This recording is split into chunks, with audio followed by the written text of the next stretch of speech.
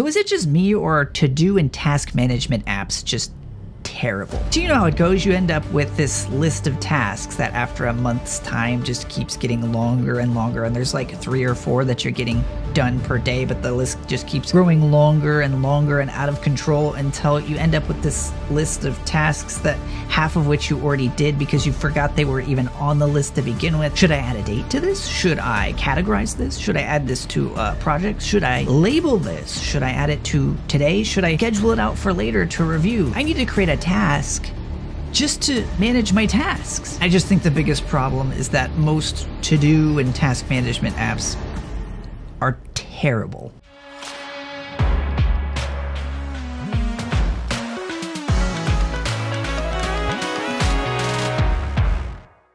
So I've cycled through a ton of productivity software, everything from to-do lists to task management apps to project management apps, everything that's meant to help you kind of create lists of things that you need to do. However, no matter how many times I switch apps or I try something new or a variation or even just kind of creating my own with something like Notion, I always end up after about a month or two in the same place, which is that I have a massive list of tasks and there's always like three or four that I'm checking off each day and getting through.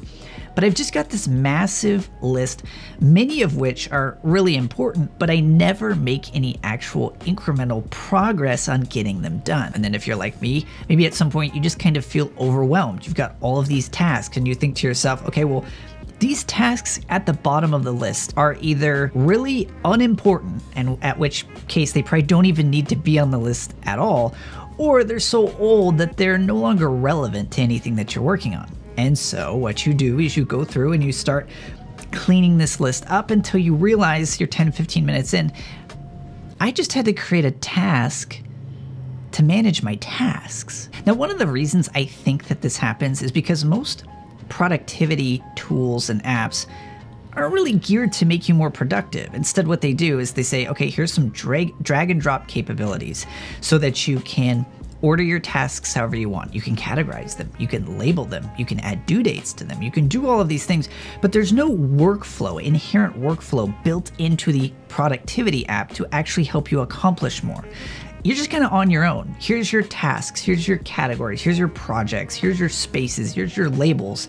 They just throw all these tools at you, and then you're just kind of on your own. Figure out how you're going to be more productive with all of this stuff. Now, when it comes to getting big projects or big goals done, it's a pretty simple process for how you do that. You keep a list of all of the different big projects or goals that you want to get done, and then each day you take one or two small incremental tasks or steps that will move that process forward. The problem with most productivity apps these days is that they don't really have any way built in or inherent to help you do that.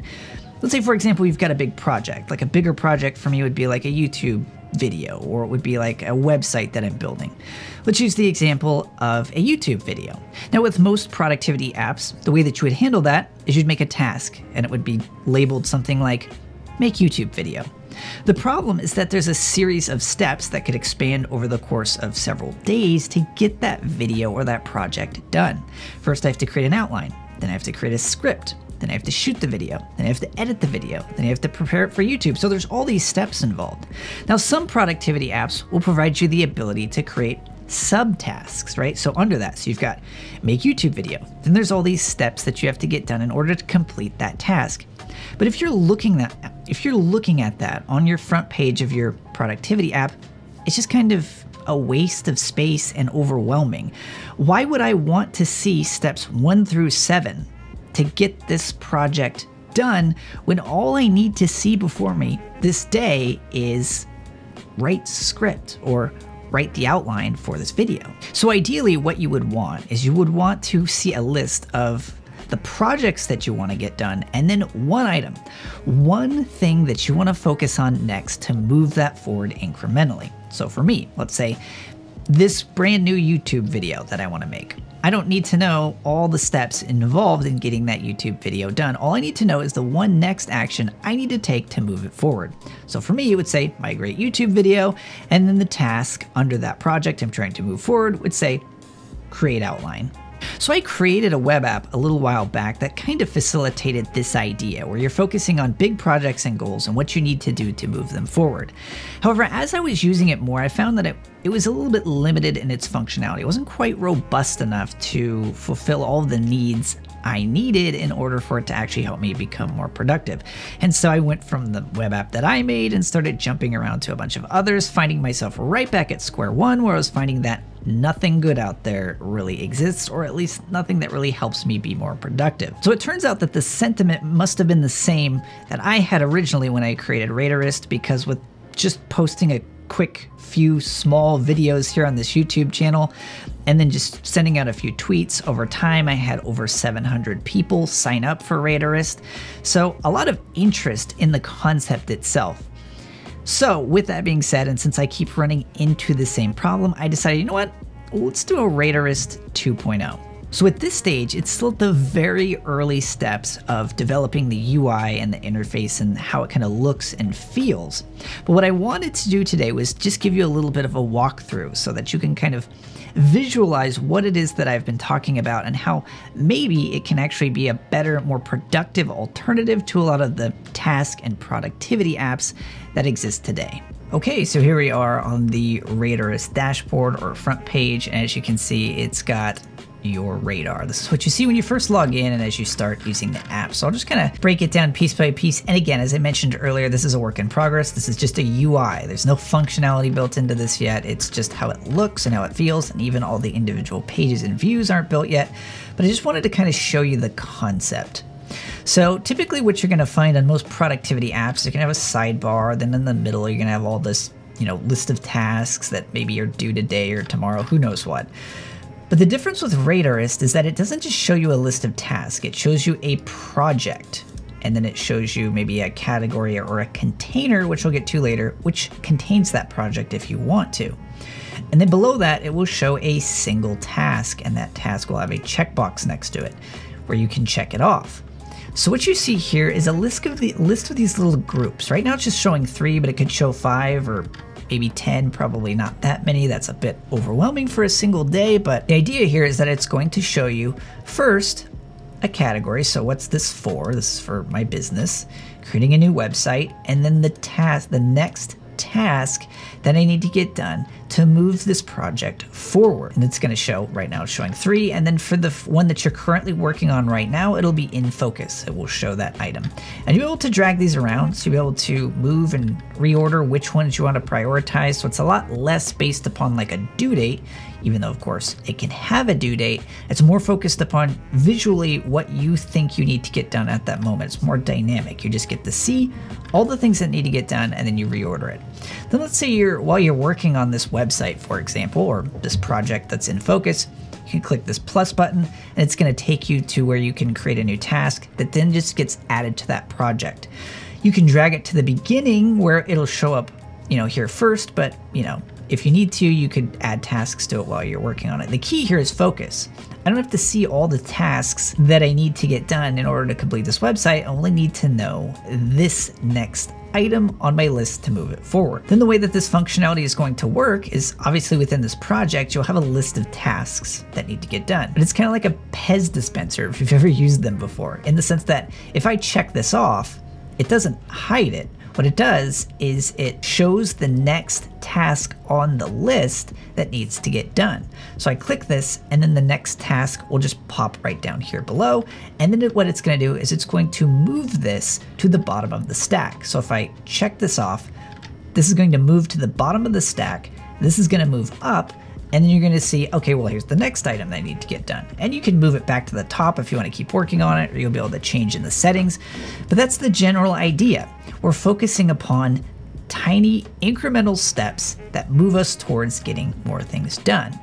My plan eventually is to work in some reporting so you can see at the end of the day how much you got done so that you can get a feeling of accomplishment as you go through your task list. The next little section on the front page is things that need to be sorted.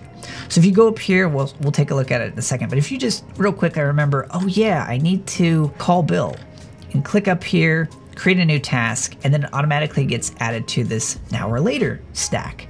And this now or later section is essentially there to as kind of your inbox, things that need to be sorted. So you can just check them off and do them if you want to, but the ideal purpose of these is that you toss things in here and then you sort them later in terms of priority or project or where they're relevant. Then let's say that you've completed all the tasks that you have available for the new website theme, for example, for this project. If I were to check this off, I've completed that task. Now I have no tasks left. So what's gonna happen is it's going to disappear off your radar and it's gonna pop down here to awaiting next action, which could mean maybe I'm waiting for the client to get back to me, or there's something else that I need to do in order to move that project forward. So it's gonna show up in this list. And I've got two options. I can either archive it or I can click to add a new task. So this is another thing that you can, it's still kind of on your radar, so you know the project is there, but it's awaiting a next action. It needs either to be completed, you're done with the project, or it needs a next action. So again, I click archive, it would be archived, or I click plus, add a task, and then it pops back up into my radar to do that next task. One of the other things is that I wanted to make the navigation very simple. So it's just you click on the logo to be able to see your radar. If you want to see a list of all your projects, you'll be able to see those and you can also drag to rearrange those. Again, none of that functionality works yet because it's very early stages. You'll be able to click in to view those. You'll be able to see those broken down uh, by spaces, which is another way to organize things. So within a project, you have tasks, but within a space, so you've got your radar, your projects. Your space is a way to contain your projects. For to click on that, the view hasn't been built yet, but that's just a way to be able to contain those. So here's a project, or here's a, a space. This essentially just kind of a folder or a container for all of those projects. So if you've got things that you want to do for your home, for, you know, at home or personal, and then for work, and then your hobby, you can break those down into spaces and you can create projects within that space. We've got some other pretty standard things, just like an archive. So once you complete something, you can either restore it or delete it if you don't want it anymore. And it's broken down by projects, tasks, and spaces. Same thing for the trash pretty basic. This is just going to show things that you've tossed in the trash and you can either restore them or there'll be a button here eventually that allows you to empty the trash.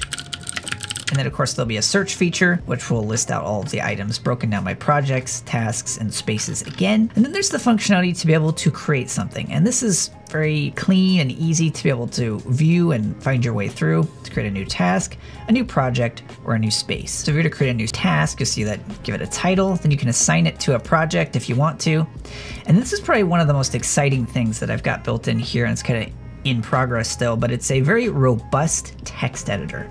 And part of why I'm really excited about this is this is actually going to, for the most part, probably replace Bear for me. So all of the notes that I find myself constantly writing and typing out, I'm going to turn into tasks within Radarist because as you'll be able to see, it's quite the robust editing experience. So you'll be able to go in here and, you know, you'll be able to create, you know, block quotes, be able to create headings, you'll be able to go in and create outlines because of nice bulleted lists.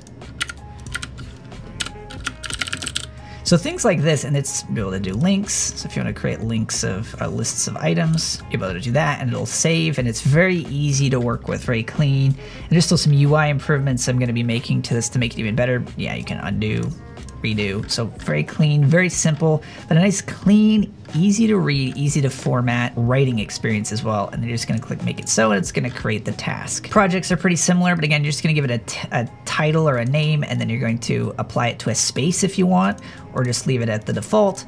And then the same editor is gonna be here you're able to go through and do any editing or any changes that you want to make to that text there. And then the last one, of course, is just a space. This is just going to be a container for the projects. Uh, so if you want a way to be able to organize and categorize your various projects. So as you can see, it's just a way to help you incrementally move things forward in an organized way that doesn't have you overwhelmed or burdened with a ton of tasks that you don't need to worry about or focus on at the moment. Okay, so that's pretty much it if you would like to be notified once I actually have a beta up and running that you're welcome to test out, first of all, make sure that you're subscribed to this channel because, of course, I will be posting videos about it here. But also, if you'd like to be one of the first who finds out, you're going to be able to do that by being signed up for my newsletter. So, this is where I regularly just send out notifications for new videos, and anytime I create a new web app or tool or resource for creators or professionals, I always send that out to my email list first. So, scroll on down, link in the description if you would like to sign up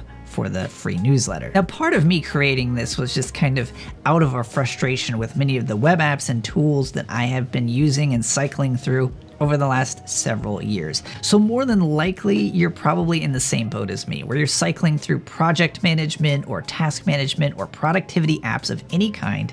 And maybe there's things that you really like about them, and maybe there's things that you don't like about them. So feel free to leave me a comment. Let me know which ones that you're using, which features you like, what features you don't like, what things help you be more productive, those types of things. Feel free to leave me a comment, and I'm going to take those things into consideration as I'm building Radarist because it's not only is it something that I want to help me, but I want it to help you as well. I want it to be a tool that helps everyone just get more done. So as always, if you found this video useful or interesting, be sure to hit that like button, subscribe if you're not already, and I look forward to seeing you in the next one.